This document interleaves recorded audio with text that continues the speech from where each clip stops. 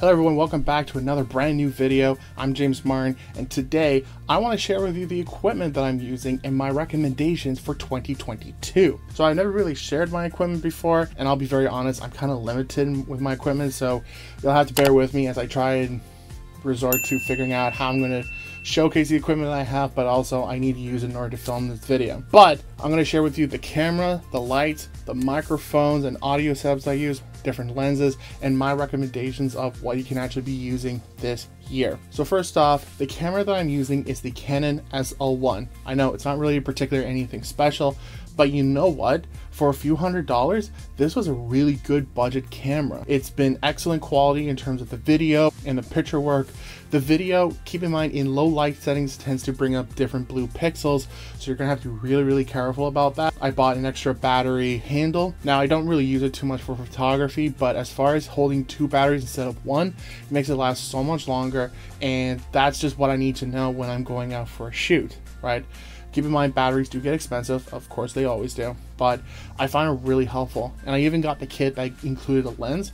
It included a little zoom lens, and I found that to be really, really helpful. So I've been using this bad boy for movies, for professional work, and all my YouTube videos pretty much. So definitely a huge recommendation. I would actually highly recommend a particular lens, and I can actually show it because I'm not using it to film this video, and that is the Rokinon 85mm prime lens. This bad boy has been really great when it came to doing different photography and video work where I really wanted to do that really shallow depth of field.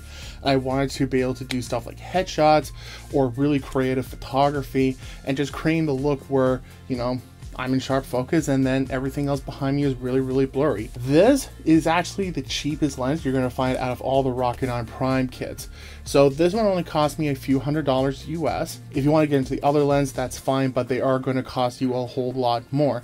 But you know what? This has actually been really great for getting close-up headshots and medium body shots. So huge recommendation and this is great for your Canon cameras as well. Now moving on to my audio setup. So I've been using the Zoom H4n for a long time. I can always trust it's going to do super high quality work. I don't have to worry about it getting damaged or broken comes with a very little case. I've been using it for almost 10 years right now. If you're going to an event, you plug it into a sound system so that every time someone speaks into the microphone, that signal goes into the soundboard and into your microphone. I also have my own microphones that I set up and I'm going to talk about those in a second. But also the Zoom H4n has its own microphone, which I'm actually using right now. So I can use it to record basically anything I want. I've been using it to record sound effects, music, my voices. I've been using it for my YouTube videos, so it's been very, very versatile. It does require two AA batteries, and for that, I highly recommend get yourself some rechargeable batteries. I bought four rechargeable batteries and a charger, and I've been using it for years right now. I haven't had to buy any new AA's for a long time. As far as my microphone goes, I'm using the Audio Technica microphone. I actually got this from a recommendation from Pat Smith, who's a podcast expert. I recommend you go and check him out. But I've been using this bad boy for now a lot of my recent video work. Been using it for podcasts, been using it for voiceovers and sound effects and narration and kind of cool stuff. It's just good to know that I have a microphone that I can depend on that's going to give me good quality. And I even extended it and got a bit of a kit, including the arm and stuff. So it's really nice knowing that I can just plug this bad boy into either my audio recorder or my computer, just bring the microphone down in front of me, and I know I have a good quality microphone that I can use to record what I need. What I really especially love about the microphone is that it has an XLR. It has the cord that you use to plug into a USB. I often plug this into my PS4 when I'm recording gaming videos. It includes an XLR, so I plug this into either my computer or into my audio recorder. And then it does have a headphone jack in case you want to listen to it. Quality, very very good highly recommend you use this microphone now when it comes to plugging in my microphone into my computer i recently invested in a red scarlett Focusrite. You plug your microphone into here and then you plug this into your computer and it's going to give you a much more high quality sound. So you don't have to take a microphone and plug it in by USB. Often the sound gets really distorted that way. This gives you really good quality. And what I really like about this, the Red Scarlett, is that it gives me two audio inputs. So I can plug in two microphones essentially. I only use one, so that's good enough for me. This gives me different options in terms of the gain, the overall volume and quality, But I also especially love this is extremely small and extremely versatile. So I can carry with this with me everywhere I go. Like it's that small. That's the size comparison. As far as installing into my computer, that was actually really, really easy. I was genuinely surprised. I plugged into my computer, software automatically popped up, installed within moments, I was good to go. And then all I need to do is plug my microphone in. It just sits on my computer desk and it's been really, really easy to set up start recording right away. And of course, if you want to, the Red Scarlett includes many different types of sizes. So depending on how many microphones you want to plug in, you can get one, you can get a two input, there's four, eight, 12, 16, etc. So as far as portable, quick and easy setup, and you know, very good quality overall for the price I'm getting, I highly recommend the Red Scarlett. Moving on to my lights, this is going to be a little bit interesting because for the longest time I've actually been using a variety of different lights, mostly very very cheap softbox lights that I can get either from a friend or on sale at some store in the US. But recently I got the LED panels from Neewer.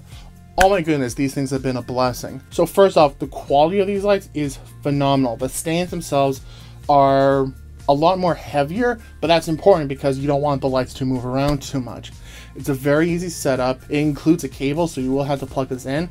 But if you get the batteries, you can put the batteries in the light and then you can go wireless. So if you're going outside or somewhere without electric outlets, very convenient that way. Barn doors, which help you guide the light wherever you want to go. But the big thing that I love about this light is that there's a panel on the back to let you control the different settings, the brightness, the CTB, the CTO, different colors but you can also plug into the app, the Neewer app on your phone and control the lights, turn them on, changing the different settings, and that's been super convenient. I can literally just stand here, get out the lights, and then just mess around with the different lighting setups, right?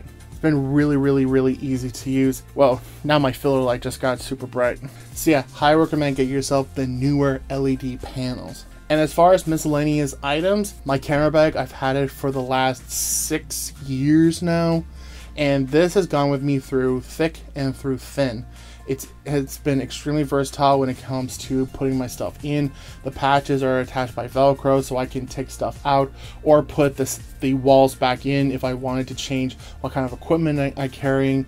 So it's very been very versatile that way. There's millions of different pockets, millions of different places I can put stuff in and it's just been really convenient and making sure that everything's been organized and secure with double zippers, belts, everything you need. It's got wheels on the bottom and luggage carrying handle in case you want to roll it around. It fits right on like a backpack and it's just been super super convenient and it's actually been relatively inexpensive.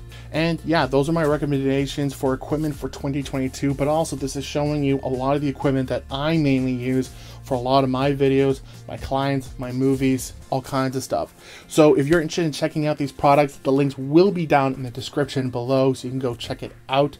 Keep in mind that they are going to be Amazon affiliate links. So if you purchase your stuff through my links, they're going to come and support me in return. So I hope this video helped you out. If it did, please like the video and subscribe for more content. Good luck with your videos, and I will see you next time.